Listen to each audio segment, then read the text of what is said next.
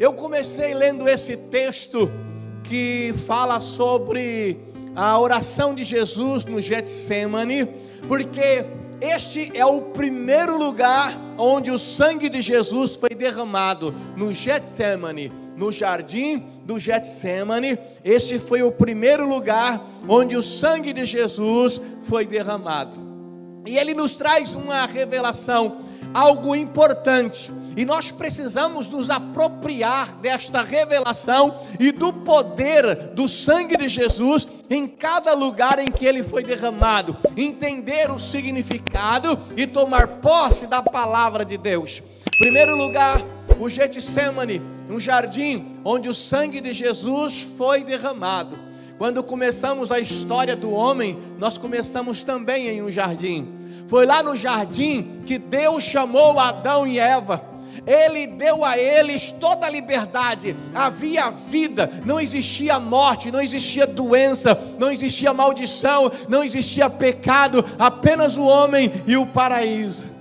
Era um lugar de bênção e vitória, e Deus então, quando criou o homem, ele poderia criar um bando de robô para que o homem fizesse o que ele queria, mas Deus não queria marionetes, Deus não queria seres humanos programados. Então Deus deu ao homem algo muito importante com a qual nós construímos a vida ou destruímos a vida, que é o livre-arbítrio, ou seja, o poder de escolha, o direito de escolher. Você pode escolher. A Bíblia diz: está diante de você a bênção e a maldição, a morte e a vida. É você quem escolhe. Então o homem tem direito de escolher. E lá no jardim do Éden, Deus já deixou o homem exercer esse poder de escolha, quando ele disse assim: Olha, vocês vão comer de todos os frutos aí do jardim, mas aquela árvore ali, do fruto dela não comereis como eu sempre digo, não era uma árvore especial. Deus não tinha um apresco por aquela árvore. Deus não gostava do fruto, é mais doce, deixa para mim. Nada disso. Deus só queria ver a fidelidade do homem. Deu a ele a liberdade para escolher e ele então escolheria o caminho que ele iria seguir. E o homem então entendeu. Ele entendeu que Deus não queria que eles comessem daquele fruto. E o homem então logo tinha comunhão com Deus, estava na presença de Deus o tempo todo, mas surgiu na, neste cenário, nessa história, a serpente, o diabo. E o diabo, ele sempre em toda a história, ele vem trabalhar para antagonizar a vontade de Deus. Tudo que Deus quer, o diabo mostra de uma forma antagônica, contrária. Se é para fazer isso aqui, Deus quer que você rela nessa Bíblia, o diabo vai trabalhar para você não relar nessa Bíblia. E se Deus fala não toca nela, o diabo fala toca nela. Deus falou não coma do fruto, o diabo falou assim: vem cá, coma do fruto. Mas como que o homem ia obedecer o diabo? Igual hoje, ninguém obedece o diabo de peito aberto. Ele aparece de forma diferenciada. Ele aparece muitas vezes como um anjo de luz, como uma coisa boa, não só como uma mentira, pois ele é o pai da mentira, mas ele trabalha com a meia-verdade. Uma das maiores e mais antigas artimanhas do diabo é o engano, o engodo. Então ele vai enganar. Então ele chegou para o homem e falou assim: peraí, Deus não quer que vocês comem, porque ele começou com a mentira. Se vocês comer do fruto ali, vocês vão ficar igual ele ele já colocou a mentira e mexeu em algo do homem que é algo assim, intrínseco do homem ao longo da humanidade, do tempo até hoje. O poder, o homem tem uma fome pelo poder. Peraí, nós vamos ser igual ele? Era mentira do diabo, mas só de achar que poderia, eles resolveram pecar contra Deus e eles não tiveram o poder, eles não tiveram a força de resistir à tentação. Adão e Eva não tinham a força de resistir ao diabo, não tinha a força de resistir à mentira de Satanás. E as pessoas dizem assim, pastor, a carne é fraca. É verdade, a carne é fraca e ela não tem o poder para resistir às tentações.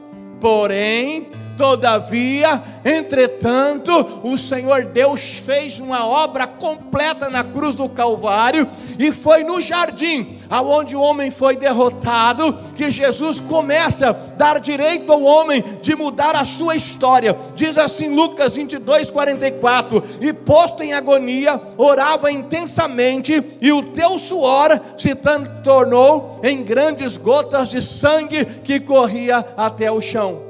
Jesus orava no Getsemane, vai entendendo, eu vou dizer qual é o poder desse sangue daqui a pouco. Jesus orava no Getsemane de uma forma tão intensa que o seu suor se tornou em gotas de sangue. Aí eu te pergunto, que tipo de oração Jesus fazia? Aí eu te pergunto, o que Jesus estava falando com Deus? O que ele estava orando? Ele estava falando com Deus algo muito importante, e nesta oração Jesus faz um pedido. Ele sabia que a hora amarga da cruz, de morrer na cruz, estava chegando. Ele sabia que o momento de dor e sofrimento estava próximo ele sabia que logo ele seria traído por um amigo, aquele que estava do lado, aquele que andava com ele, aquele a quem ele ajudava. Ele sabia que a noite escura estava se aproximando, então a angústia no coração de Jesus era tão grande, porque ele não era Deus, ele era homem, ele se fez carne e habitou entre nós, que ele começou a orar sobre a cruz. Ele disse: Pai, se possível, Pai, se possível, passa de mim este cálice. Ou seja, ele estava se referindo à morte terrível na cruz. Eu vou trazer para você de uma forma mais tranquila. Ele estava dizendo: Deus, se for possível eu não morrer na cruz, passar por esse sofrimento, Pai, se possível, passa de mim esse cálice, porque não seria fácil mas ao mesmo tempo ele completa a oração dizendo: Mas todavia seja feita a tua vontade e não a minha vontade, que a vontade do Senhor seja feita. E o sangue caiu no chão no Getsemane, o sangue que caiu no chão, lá no Getsemane é o sangue que te dá poder para fazer a vontade de Deus, para vencer a força da carne. É o sangue que te traz a graça e que te ajuda a fazer a vontade de Deus, a ter domínio próprio, a ter autocontrole o poder de vencermos as fraquezas, ela está no sangue derramado de Jesus. Ele disse: Pai, se for possível, o Senhor passa de mim esse cálice, mas faça a tua vontade. Estamos vivendo um tempo hoje em que as pessoas querem as suas vontades, elas oram pedindo as suas vontades as igrejas que pregam, pregam o evangelho genuíno, verdadeiro, a igreja que prega a palavra de Deus tem mais dificuldade no seu avanço porque as pessoas preferem acompanhar as multidões em evangelhos baratos por aí, que dizem que quando você chega em Deus, a sua vida é só vitória, só vitória, não vai ter mais choro, não vai ter mais lágrima, não vai ter mais pranto, até parece que já estão no céu, porque a lágrima será enxugada, não haverá mais dor, é verdade, não haverá mais lágrima, é verdade, não haverá mais pranto, é verdade, mas isso lá na glória, se você chegar lá, mas enquanto você estiver aqui, haverá lutas, dores, sofrimentos, dificuldades, problemas, e eles vêm para todo mundo. Pastor, eu sou fiel, vem para você que é fiel também. Havia um homem, diz a Bíblia que ele era um homem íntegro, honesto, fiel a Deus. Não tinha ninguém que servia a Deus como aquele homem, e o nome dele era Jó e ele passou pelas maiores lutas e provações para mostrar para você, você que é fiel, também passa por lutas, dificuldades. Esse negócio de jargões, quem tem Cristo não tem crise, é conversa fiada. A crise vem para todo mundo. Crise é tudo aquilo que pega você de surpresa. Quando morre alguém da família, instala-se uma crise. Perdeu o emprego, instala-se uma crise. Você é fiel, ninguém da sua família vai morrer. Você é fiel, ninguém vai perder o emprego. Você é fiel, ninguém vai ficar doente, não vai ter um diagnóstico terrível muitas vezes do médico. Todos nós somos passíveis, estamos aí, veremos as lutas e dificuldades. A diferença do homem que serve a Deus e o que não serve é que aquele que serve, ele tem a esperança no Deus Todo-Poderoso, ele espera em Deus e Deus vem ao teu socorro. Ele olha para Deus, ele passa pelas lutas, mas Deus passa com ele. Deus mandou o dilúvio sobre toda a terra. Ele salvou do dilúvio Noé, Sem, Cã e Jafé, os filhos de Noé e as suas esposas. Foi ou não foi? Mas espera aí, ele fez um, deixou um lado, um cume, um monte em que não teve chuva, e Noé ficou numa cabana com a sua família? Não, passou pela arca, pela dificuldade, pela tempestade, pela aquela luta toda. Deus não livrou eles do dilúvio, mas deu livramento no dilúvio. Você sabe que as pessoas que caem estando na presença de Deus, e vou deixar claro também, todo mundo pode cair, mas Deus te dá graça e poder para levantar. O grande homem não é aquele que nunca cai, mas é aquele que quando cai se levanta, porque Deus é com ele. Talvez se for contar a sua história lá atrás, tem histórias de quedas terríveis, mas olha você de pé aqui, porque você é um grande homem, uma grande mulher de Deus. Os demais ficam prostrados e caídos, então a luta vem para todo mundo, e as pessoas, quando caem, geralmente elas caem naquilo que elas sabiam. Ninguém cai em algo que nem conhecia, sabia o perigo que estava correndo, mas o homem acha que é, tem superpoderes. Quanto mais envolvido com as coisas de Deus, quanto mais ele ora, muitas vezes de forma só religiosa, ele se sente mais poderoso. O homem que serve a Deus de forma verdadeira, ele quanto mais ora, mais insignificante ele se sente diante de Deus. Mais ele vê a grandeza de Deus. Mas tem umas pessoas que começam a orar e já acham que é Deus. Ele pregou uma mensagem bonita, as pessoas falaram: Ó, que mensagem poderosa. Ele estufa o peito e acha que é Deus. Então, é muito importante que saibamos que para que você tenha vitória, é preciso estar atento a cada detalhe da vida. Todos nós temos uma fraqueza, uma dificuldade em potencial. Todos nós temos algo na vida em que nós lutamos para vencer.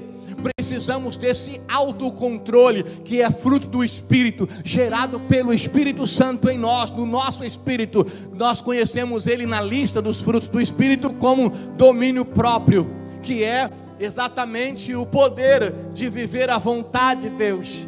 E se tem uma coisa que nós temos mais dificuldades é com o controle, com o autocontrole, com o domínio próprio, com o domínio das nossas emoções.